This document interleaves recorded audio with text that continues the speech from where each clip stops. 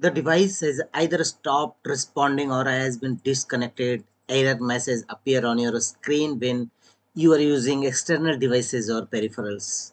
And the prominent causes of the error are USB controllers issues and faulty hardware devices. And to fix this issue the first workaround is go to Windows search type CMD and open command prompt Windows as administrator mode. Here we will run the hardware troubleshooter in command prompt windows execute the command as uh, shown on your screen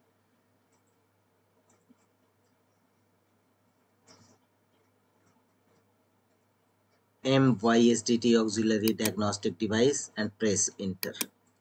After that restart your system and also execute the command sfcs scan now to check any corrupted file system in your PC. It may be a cause of this type of hardware related issue in your Windows 11 10 system. Execute the command sfc space slash scan now and press enter. It will scan your system and repair them accordingly. And check whether your error is resolved or not. If not go to the next fixes uninstall usb controllers. Open device manager in your windows 11 10 system. And here go to the usb controller bus services devices. And here right click on your USB root hub.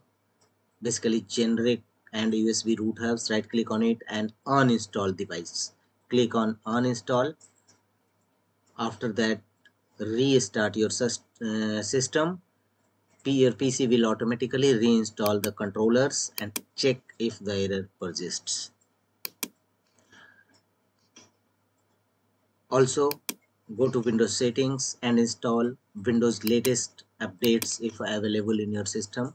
Click on check for updates or if any updates available click on install or and windows latest update. Also install any optional updates?